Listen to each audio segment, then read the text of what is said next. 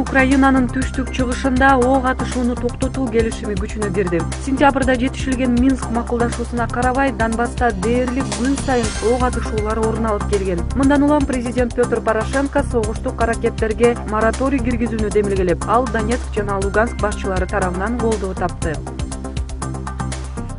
филиппинде хагупит тайфунунан каза тапкандардын саны жыйырма жетиге жетти курмандыктардын басымдуусу кырсыкты биринчи кабыл алган самар аралына туура келет азыр аймакта бороон чапкындын күчү бир аз басаңдап калды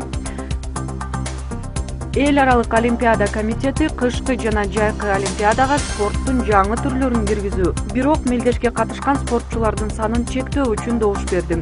Реформага ылайык эки миң жыйырманчы жылкы токиодогу оюндарга баскетбол софтбол сквош же карате кириши мүмкүн. Эл аралык олимпиада комитети олимпиадага өлкөлөрдүн катышуусун арзаныраак кылуу үчүн да добуш берди